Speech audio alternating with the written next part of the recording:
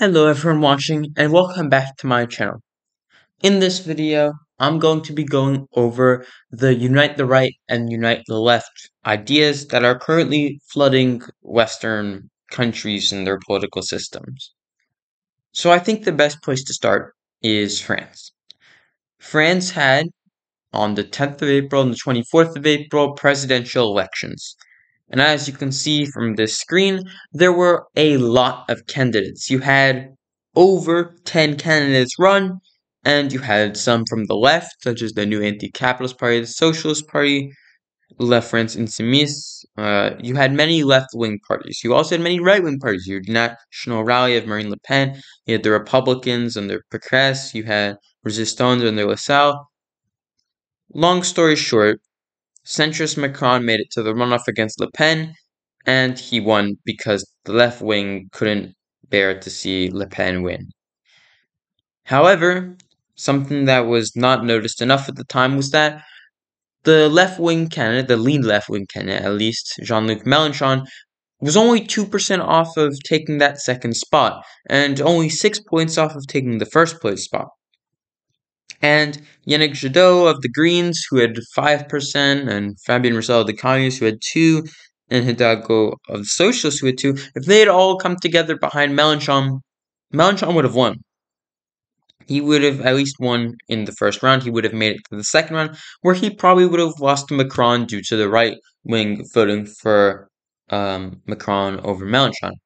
However, then you notice another thing, which is that Eric Zemmour and Valérie Pécresse of the far right Reconquête and center right to right wing Republicans, they had 12% of the vote. So if you added them to Le Pen, you added the left wing to Mélenchon, you could have had a far right versus left wing to far left uh, presidential election. And so you had the idea immediately after that come out of, oh, well, we should, you know, combine, we should make some right wing coalitions, some left wing coalitions, defeat the centrists.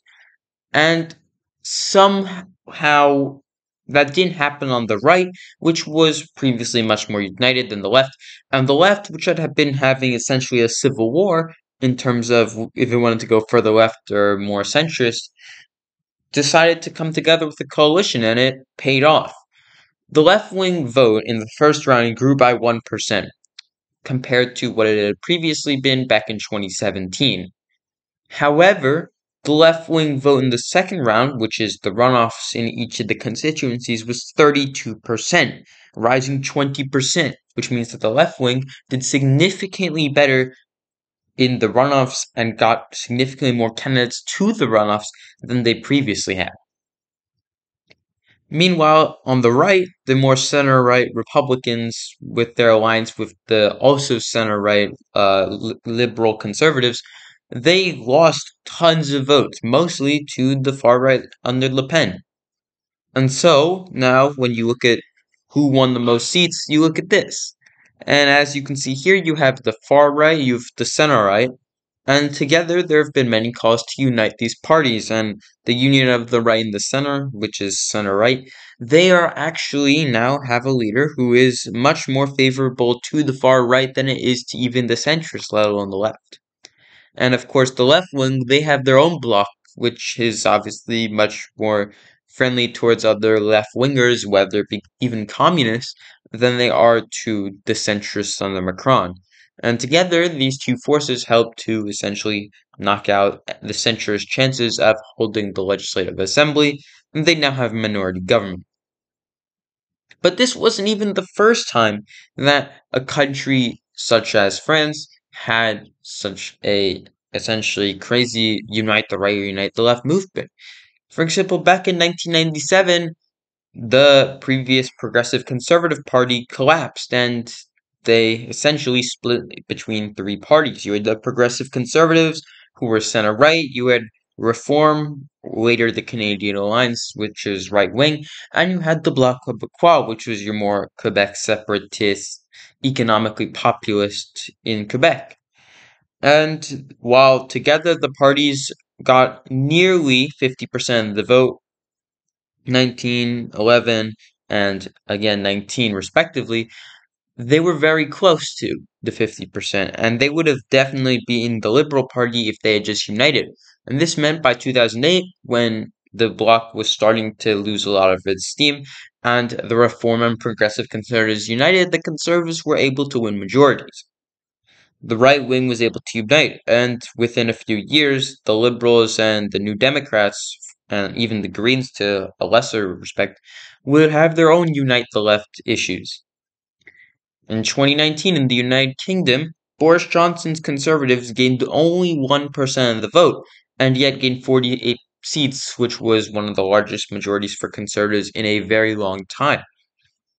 And this was mostly because the main center left party lost 8% of its vote, mostly to center center left liberal democrats and to the SNP in Scotland as well as other smaller left-wing parties. The Conservatives didn't gain much, it was simply the left-wing fracturing, just like it had been in 1997 in Canada and just like it was in the 2022 French presidential elections. Which brings us to the three elections that are coming up very, very soon. First, we have Italy. Italy has had political issues for a very, very long time. You had, of course, the far right uh, Lega Nord, and they were until recently an outcast from the government. Until Silvio Berlusconi of Forza Italia, he essentially invited them to the center right coalition, which then also invited some would say neo fascists, others would say national conservatives, the Brothers of Italy, and now the Us Moderates Party, which is a center-right party. That was the Unite the Right movement in Italy. It was showing itself there. They learned from France, they learned from the Canadians, and they learned from the United Kingdom. You need to have a united right for the right to win, and the left wing learned this too.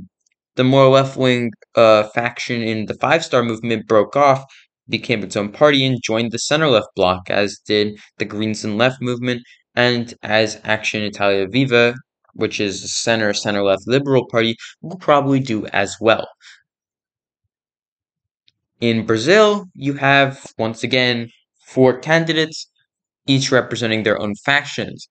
The right is mostly between the MDB, which is a more center right, and of course the main right wing candidate, but also from the far right, Jair Bolsonaro, the current president of the country. There's been many unite the right questions in Brazil, but the left is fractured too, with their more center left to left wing under previous president Lula da Silva, and the definitely center left uh, anti communist Ciro Gomes of the Brazilian Labor Party. And they've had their own struggles.